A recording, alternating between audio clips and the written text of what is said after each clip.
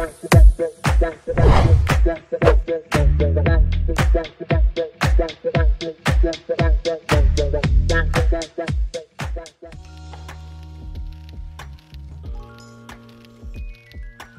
I'm Abhishek. I'm a multidisciplinary product designer with eight years of experience in designing digital tools and softwares.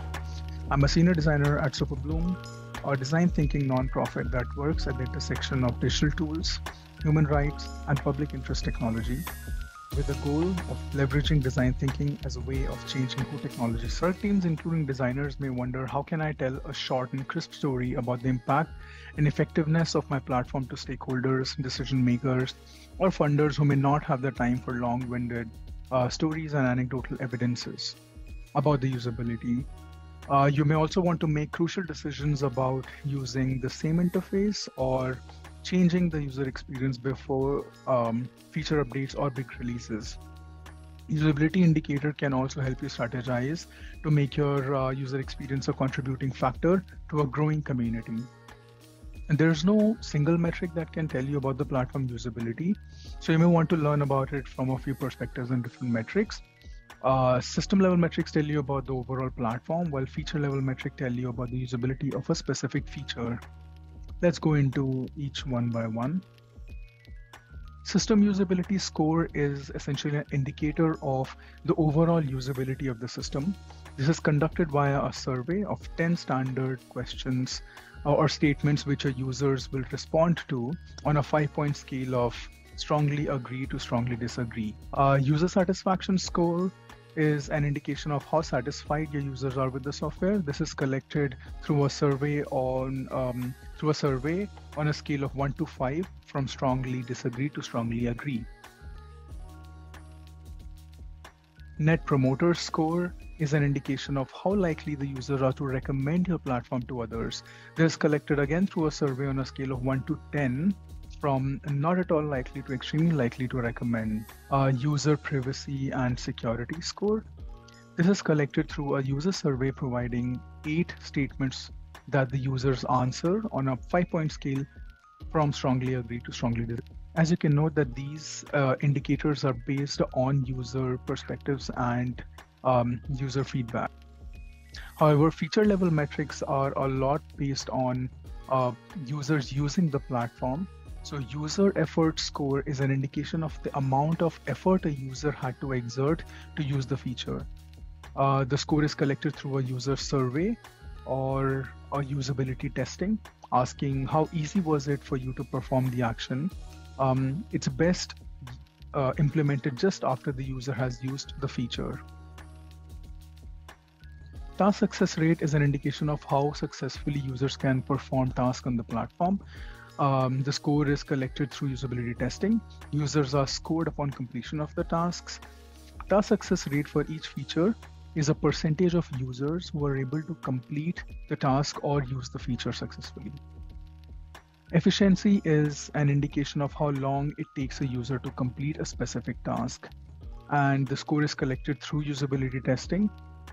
Uh, the tester basically measures the time that the user took to complete the feature. You can also build upon this structure to uh, measure other human rights centered metrics such as accessibility, privacy, diversity, or inclusion. Uh, so, when to measure? It is a good indicator to have on your product dashboard at all times so you know that usability is not a leading cause for low user adoption, which means that you may set up a system in place that helps you measure and record usability at all times. However, there are some key moments in the product journey when you may want to measure usability, such as when you're planning a big feature change uh, or launching new features on the platform. For example, uh, you're planning to add a bunch of security features to the platform uh, to enhance its security capabilities. Um, now, not knowing the existing state of the platform usability, uh, you may run into a risk of adding more debt to an already less usable system. Um, you can measure uh, system level usability in a period of once per quarter, uh, while feature level metrics might get measured after launching that feature or a connected feature. For example, you may test login and sign up, and then again when you add two factor authentication because two-factor authentication might affect the login workflow. Uh, these measurements are basically conducted uh, based on user research using surveys and rounds of usability testing with users. Uh, one of the challenges with using usability testing tools is that it is not easy to plug in with open source softwares that are self-hosted. Such tools are only possible for centrally hosted solutions, and many open source softwares are stripped of any trackers uh, to maintain the security and privacy of its users. And so we relied on creating an Excel based tracker that is only accessible to our team of researchers. Uh, some challenges and word of caution. Uh, as with any research, you want to make sure that you're collecting a diverse set of feedback from various types of users to not make it biased to a certain type of user. Make sure you have enough users to test it with, uh, at least 7 to 10 uh, users. Else, you may find that the data is not very conclusive uh, to prove the platform usability, but you also don't need to uh, test it with thousands of users. The measurements or indicators by themselves do not offer uh, insights to improve the user experience. So you should also generate insights during those testing sessions with the users. Uh, user security score shouldn't be taken at face value because this is what users think. And hence you should also conduct technical third-party um, security audits.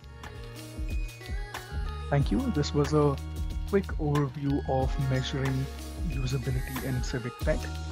This is not a conclusive or comprehensive um, method and measurement techniques. You may want to adapt uh, different methods or metrics depending on uh, the context of your users and your platform. Uh, for more discussion, question, or comments, please feel, feel free to reach out to us.